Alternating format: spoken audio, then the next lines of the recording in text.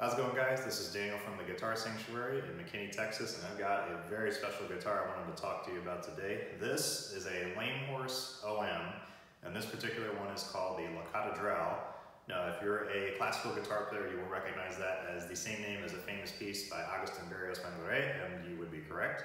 We picked that name for it because the inlay in this area looks like stained glass and thought that was highly appropriate. This was kind of a joint project between myself and Chris Jenkins of Lame Horse Guitars. Chris did all the hard work, meaning he actually built the thing.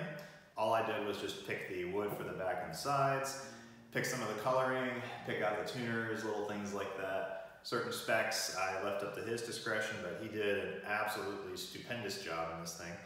Now we have pictures of this and very detailed pictures as well on our website, so I would highly recommend checking those out to see the wonderful craftsmanship that Chris put into this. I've got this in a drop C tuning, so the lower two strings are C and G.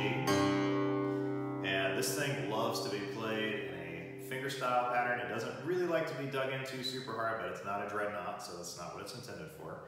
The coolest thing about Chris's designs is that he actually puts a neck joint in these and it's kind of to see on camera here, but essentially over time as the guitar's neck pulls this way from the string tension, you all you have to do to fix that on this guitar is you pull off a little cover plate here, adjust it, and it will go right back to the way it was in a perfect neck set without having to do any sort of steaming or any sort of hard work like you would for a traditional dovetail on like a Martin or a Gibson guitar.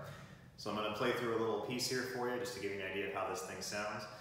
You can't really hear what this sounds like on the camera, just to let you know. So if you can make it by the shop and hear it, it is well worth hearing this in person.